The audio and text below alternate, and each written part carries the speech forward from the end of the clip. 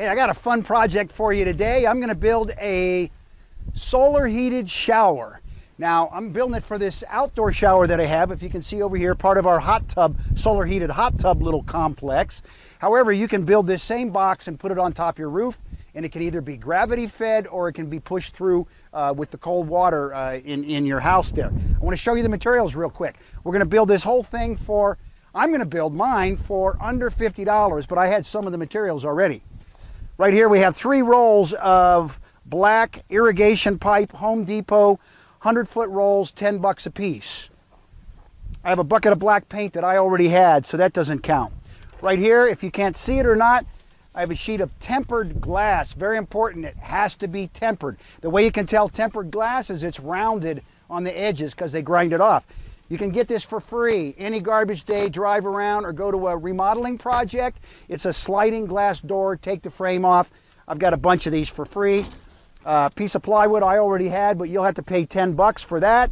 Three two by sixes long enough to frame the outside of this. We're gonna build a box, put that inside, paint it black, we have a hot water heater and it's real windy today, so I don't want to tell you how to do it. I'm just going to show you how to do it. And I'm going to do it in under three hours for less than $50. But first, I want to warm up a little bit. All right?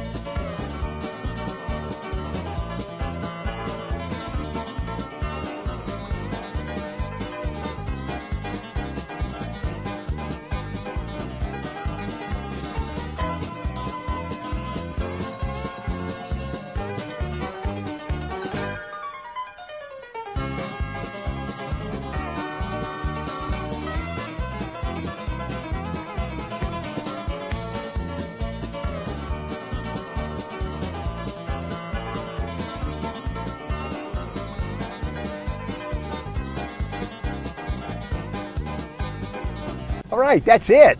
Pretty simple project. However, like I told you in the beginning, uh, at the beginning of the tape here, this is what I would call a low pressure system or a gravity feed system. You don't want to put any more than probably 20 pounds of water pressure through here and I'll tell you why. This black pipe is thin walled and when it gets really hot it'll get soft and if you put full house pressure on that and leave it on, it's going to blow out the hose. You can put enough pressure on it to fill up the system and then turn the water off and then use it to gravity feed if it were set up on your roof.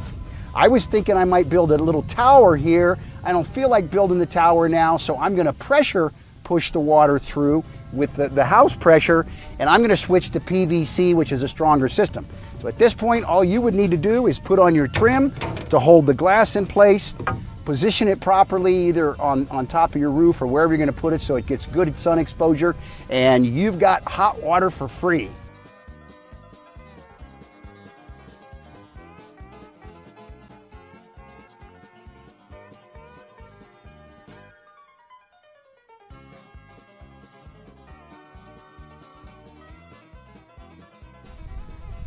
So, mamacita, how is the water?